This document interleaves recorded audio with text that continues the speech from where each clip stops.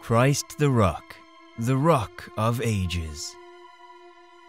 Christ as a rock is found in both the Old and the New Testament. There are certain things or elements that God loves to associate himself with. Things like fire, the well, and rocks. The word rock indicates firmness, permanence, stability, and faithfulness. Our God is a God of truth. He is the rock, the immovable foundation, meaning he is stable in nature, invincible in his power, and unchanging in his counsels, promises, and his ways. Deuteronomy 32, verse 4 says, He is the rock, his work is perfect, for all his ways are judgment, a God of truth and without iniquity. Just and right is he. This was a song that Moses sang to praise God, that he is blameless, without fault, a refuge, and a stronghold for his people. He is the rock, was the theme of this song. That was the first thing that he said in this song as part of proclaiming the name of the Lord. The rock implies aspects of perfection which is the first thing that he said, that his works are perfect. No blemish is found in God's works, because there is no blemish in his being. God identifies himself as the rock, because of the qualities of a rock, which are similar to his. God is reliable, stable, and trustworthy. We can always depend on our God when we stand on him.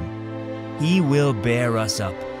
He is permanent our God is eternal, and He is from everlasting to everlasting, the rock of ages. He is our firm foundation. Unlike homes that slide down, crumble, and crush after a storm because they have been built on shifting sands of this world and its philosophies. Jesus Christ is the only sure foundation of our lives. He is the rock on which we can build on, which will ensure that our lives will remain standing even after a storm and a hurricane has beaten upon us.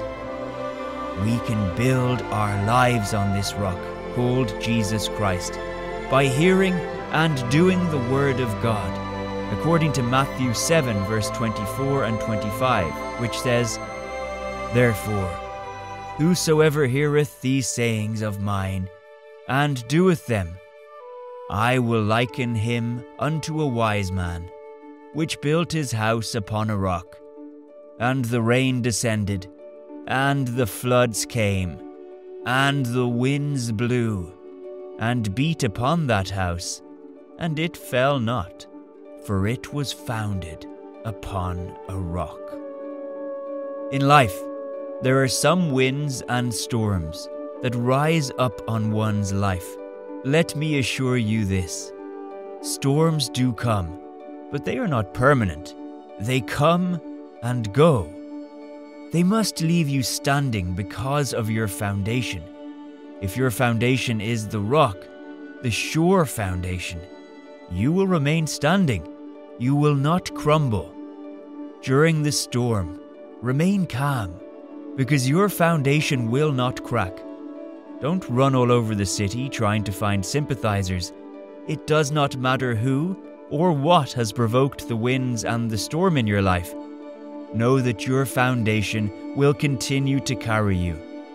He is to be trusted, and He is the rock and is dependable.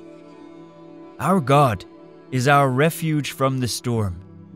In the midst of a storm, we can find refuge next to, behind, or in the cleft of a rock. Our lives may calm and prosper, but storms come to test our foundation. This is why we need to attach and be in Christ Jesus the rock, so that we can be able to stand during the time of trouble. Not only does He provide us refuge, He also provides shelter from the heat of the day. The rock also provides water according to Numbers 20, verses 8 to 11. Take the rod, And gather thou the assembly together, thou and Aaron, thy brother. Speak ye unto the rock before their eyes, and it shall give forth his water, and thou shalt bring forth to them water out of the rock. So thou shalt give the congregation and their beasts drink. And Moses took the rod from before the Lord, as he commanded him. And Moses and Aaron gathered the congregation together before the rock. And he said unto them, Hear now, ye rebels, must we fetch you water out of this rock? And Moses lifted up his hand, and with his rod he smote the rock twice, and the water came out abundantly. And the congregation drank, and their beasts also. It is a mystery and a miracle, but yes, the rock gave them water. And he can give us water too, to refresh us and satisfy us. 1 Corinthians 10, verses 3 to 4. And did all eat the same spiritual meat? And did all drink the same spiritual drink, for they drank of that spiritual rock that followed them, and that rock was Christ. Moses struck the physical rock, which was symbolic of the Son of God, and it gave them water to drink. But it was the spiritual rock that followed them in the wilderness. And that rock was not some other God, but it was Christ Jesus. He is the rock. He is the same God who also gave them manna, meat, water, and led them across the wilderness, delivered them from their enemies, and placed them in the land of promise. He did all these things for them.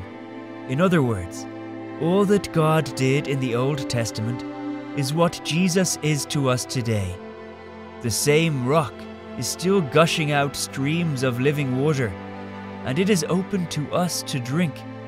Hebrews 13, verse 8 says, Jesus Christ, the same yesterday, today, and forever.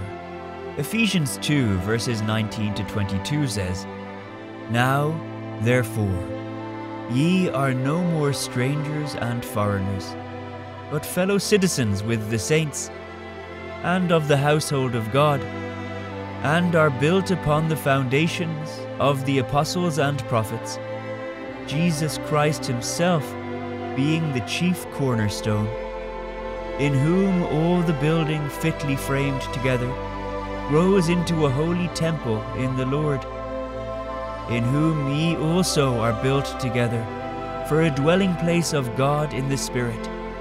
The cornerstone was the first rock used to establish the foundation of an ancient building. The apostles and prophets were the foundation, but Jesus Christ was the first stone, or the cornerstone to begin the church.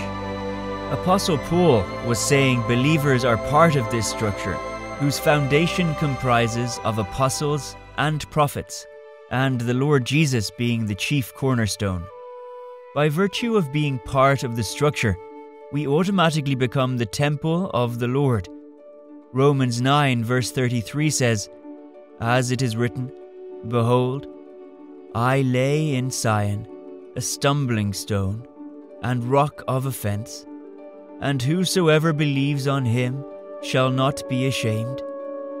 Here, Apostle Paul was quoting from the book of Isaiah, where the prophet describes the Lord as a rock of offence and a stone of stumbling because they failed to receive him and they rejected him. The people struggled to accept the idea that righteousness is found only through faith in Christ. So, to whoever does not receive Christ, he becomes a rock of offense and a stumbling stone.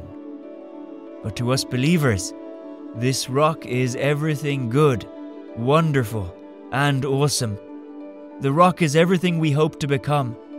But to those who are disobedient, he is a rock of offense. Matthew 21, verses 43 to 44 says, Therefore say I unto you, The kingdom of God shall be taken from you, and given to a nation, bringing forth the fruits thereof. And whosoever shall fall on this stone shall be broken, but on whomsoever it shall fall, it will grind him to powder.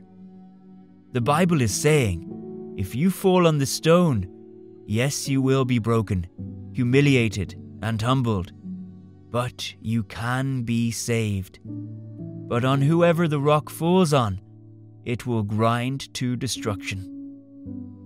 David said in 2 Samuel, The Lord is my rock and my fortress and my deliverer, the God my strength in whom I trust, my shield and the horn of my salvation, my stronghold and my Saviour. God bless you.